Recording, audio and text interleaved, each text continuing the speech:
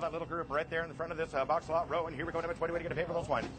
You're going to get the uh, fireplace tools and a little extra. All right, here we are in uh, Norwalk, California, and we've got um, we got a fellow named Mike that uh, had a, uh trophy shop in Norwalk, and now it's all in storage. And we're going to uh, go ahead and get a little bit of inventory of what's in this truck, and then there's a 10 by 20 uh, storage unit that's in uh, Norwalk that we're going to go we're going to go look at next.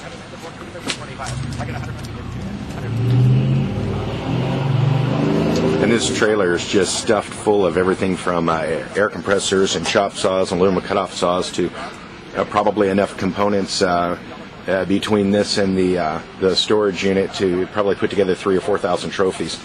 And there's every little fastener and uh, every little thing that every little thing that was needed to put those together.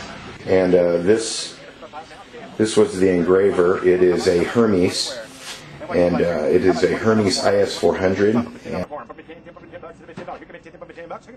and uh, it was originally about fifteen thousand dollars, and that was about uh, I don't know five or six years ago. So that's that. Here we go. How much money for the barbecue? How about twenty-five dollars more? But 10, 20, 30, 30, 40, 50, 50, where? I got 40. Oh, that's smart. That's Dave Marino and Mike. Oh, wonderful. There's Mike and Simona. Let's move some of the stuff out of the way, uh, so so we could uh, actually see. We've got this empty cabinet here, and this is the balance of the uh, the trophy shop. And uh, the shelving units. Everything inside this vault. and- Right. Okay. Everything framed. And those mattresses, You can have for free with 30, 30, for 40. 40 About 77 tubs were full.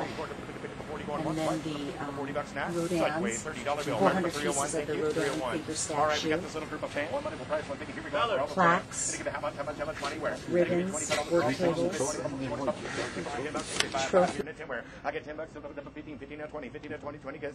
I get 10 bucks, 15, 15 now 20, 15 now 20, 20 gets it 20 there, 25 from 25 here, from 35, 5 from 35 from 35 bucks an hour.